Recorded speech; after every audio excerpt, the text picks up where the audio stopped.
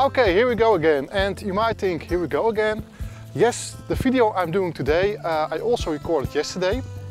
But yesterday, all day, it was this nice kind of weather since we had the same as we have now. But when we came here, uh, the weather changed. It got really windy and it was quite bad weather to record a video, but I tried to.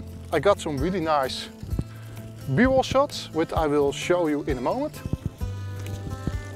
But the rest of the video kind of sucked, to be honest.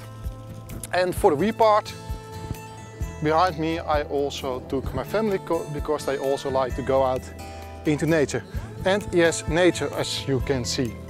Because today's video will be about nature and landscape photography.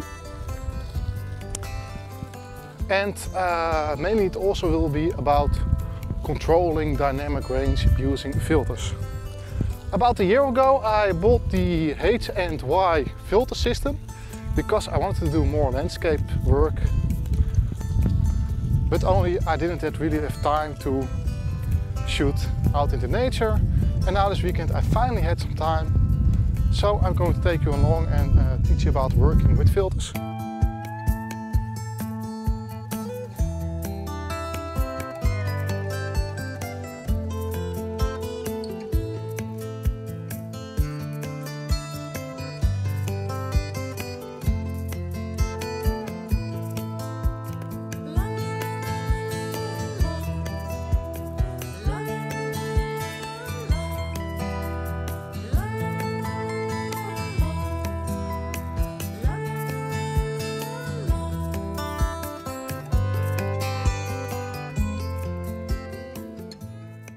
Okay, I've set up my tripod, I mounted the K-series filter holder and now let's talk about filters. A lot of time when you're doing nature photography, when you have uh, nice scenes, you can have quite of a big dynamic range. So the difference between your foreground and your skies can be over 12 to 15 to maybe 16 stops of light. And for most cameras, that is way too much. So then you have to choose between your foreground and blowing out your highlights in the sky. Or choose for your sky and getting a too dark foreground which getting almost like silhouette and contrasty. But there are ways to control this more and that's using filters. And one of the first filters I really like to use are these. These are gradual neutral density filters. And like with the normal neutral density filters, they cover your complete lens. But as you can see, this one has a graduation between the density part and the clear part. So if I put this in front of my lens, and the nice thing is it's like a magnetic system, so I can let it loose. Now I can push it downwards and get it into my frame. And now I can nicely darken down the sky. I must be honest, um, in the Netherlands, this one is the gradual. This is li like slowly going from dark part to the clear part. I think I would like to have an hardest one. It's like going almost a straight line from the gradual part to the non-gradual part and maybe a four or five stops so I can have a little bit more control of my skies. First I remove it one more time and make a photo without the ND filter and now you can see my sky is blown out if I want to keep detail in my photo. And if I just darken it like three stops.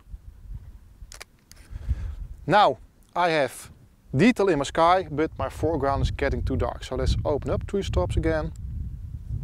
Now I can add this density filter, slide it on, push it down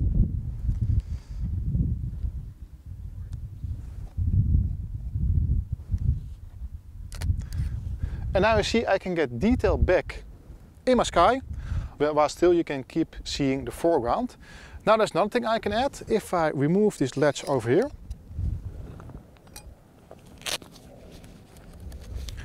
I can add this polarization filter. And this is really nice when you have like water and reflections and want to get rid of it. And also to make the sky a little bit more blue. So I put, put it on. And now by turning the wheel, I can make the sky brighter or normal and when you turn in the effect you can see the sky is getting darker.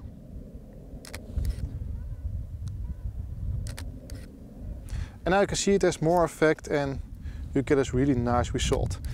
You can also, because of where the sun is standing, it works the best when you have like the sun on 90 degrees. If I turn my filter a little bit, I can darken down the left side of my sky with the filter and the other side with the polarization filter. And it's a really nice trick to use. There's also another filter I use. Is like this 10 stops ND filter. If I would uh, if I would mount this in place of my polarization filter, I can make really long shutter speeds happen. So you can get, get some more movement in the sky. And I'm going to try this for one moment. Remove this one. Add me ND 1000. I have to really open up. And let's put it on auto.